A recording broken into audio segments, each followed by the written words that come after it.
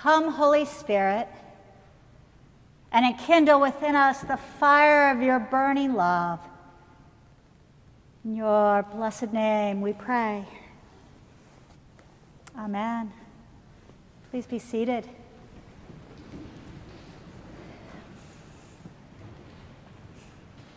Merry Christmas. Mm. Oh, holy night, the stars were brightly shining.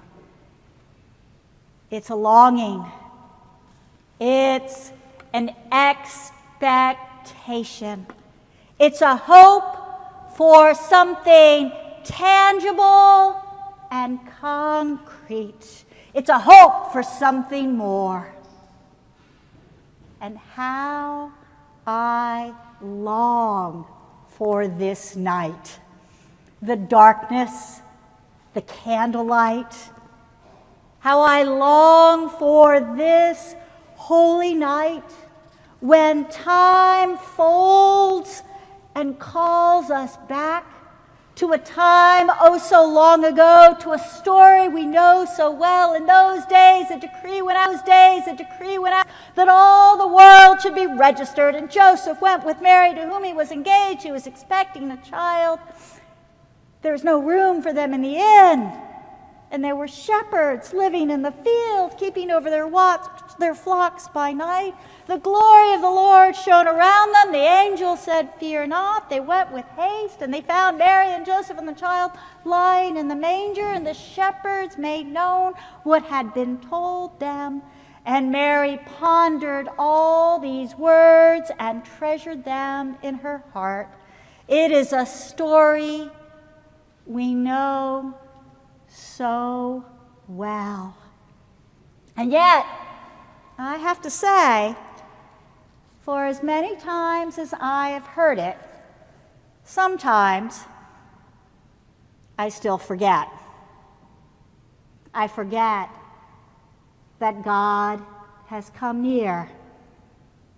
I fail to remember the intersection of heaven and earth and divinity and humanity. I forget. Do you? Sometimes?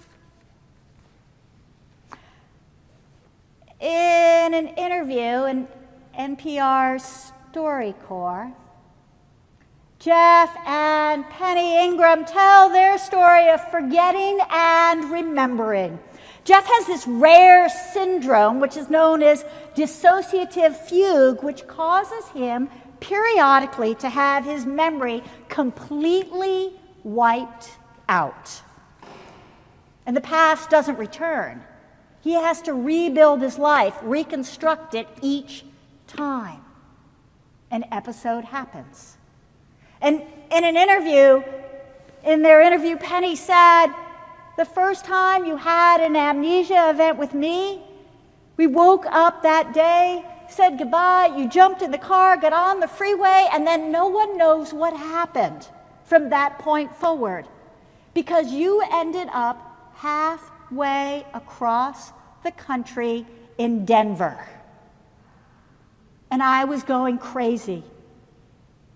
But then eventually you got on television and you asked America to help you find out who you were, Jeffy said.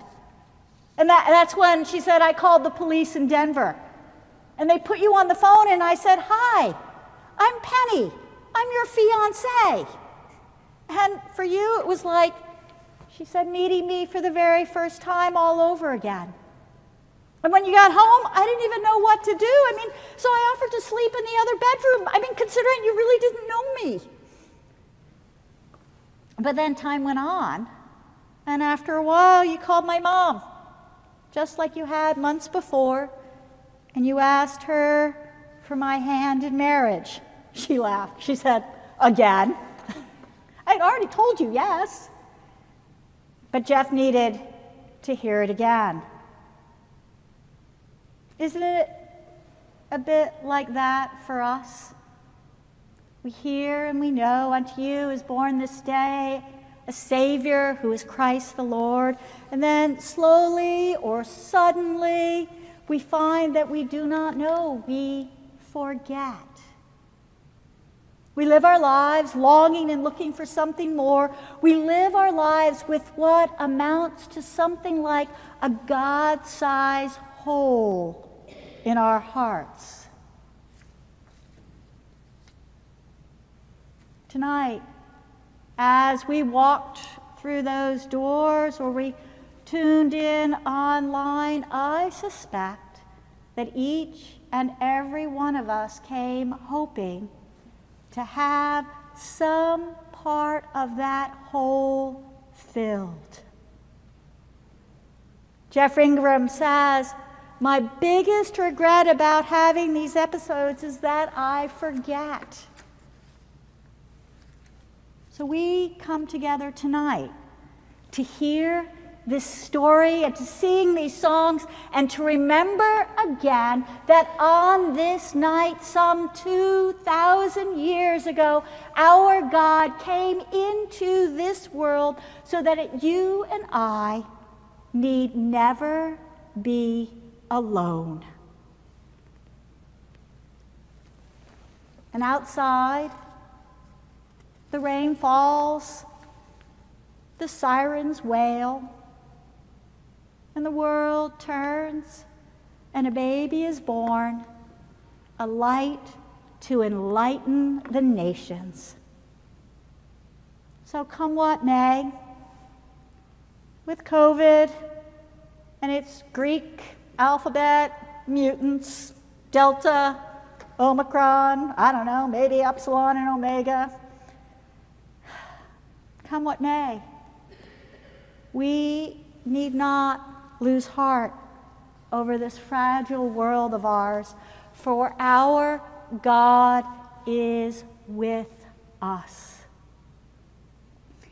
Jeff Ingram, knowing that his memory is fleeting, he recorded a message to and for himself. And he said on the recording, if you have another episode and you're in this position again of not remembering, trust Penny. Trust her explicitly with everything. You're meant to be together. You may not believe it in your mind, but you will believe it in your heart. Friends, it's in our hearts where this hope breaks open.